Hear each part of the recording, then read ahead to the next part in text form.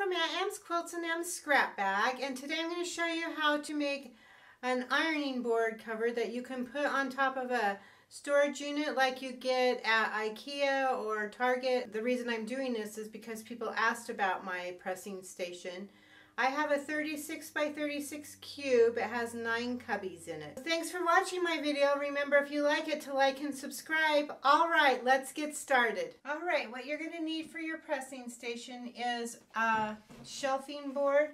And you're going to want real wood, not pressed wood or melamine. Just because with the heat, it's going to give off fumes and I don't know how safe that is. If you feel good with that, go with it. But I prefer to use a solid wood board for that reason because there are there's glues and stuff and when you heat it and stuff fumes come off. You're going to want some canvas fabric to cover the top of it. Um, and you just want it to be big enough to go over the sides, down, and like an inch in. So whatever your measurements are there. And then you're going to need some Insul-Bright so you can buy this at Joann's and I will put a link for it down below in the description. I'll also put a link for the kind of shelf that I use to put my pressing board on. But um, you can choose whatever kind of shelving works best for you. So what we're going to do first is take the Insul-Bright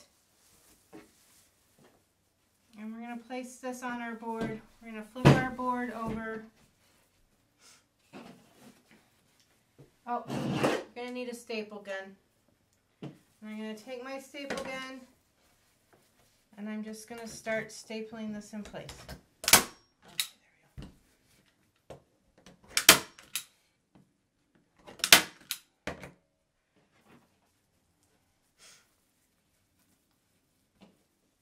On the corners, I'm going to kind of miter it. So I'm going to bring in the corner, do this side, and then this side and then I can staple that.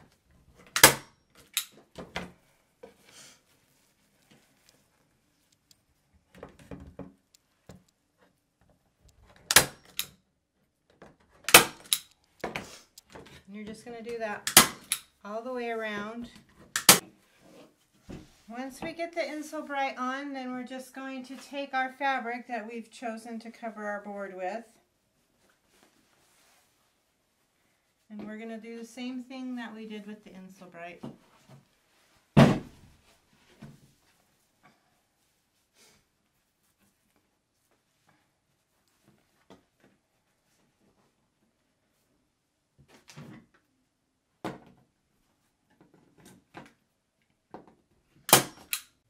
Alright, and then we're just going to set that on top of our shelving unit.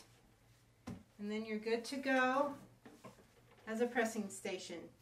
And you have all the storage underneath. Thanks for watching. We'll see you next time. Bye.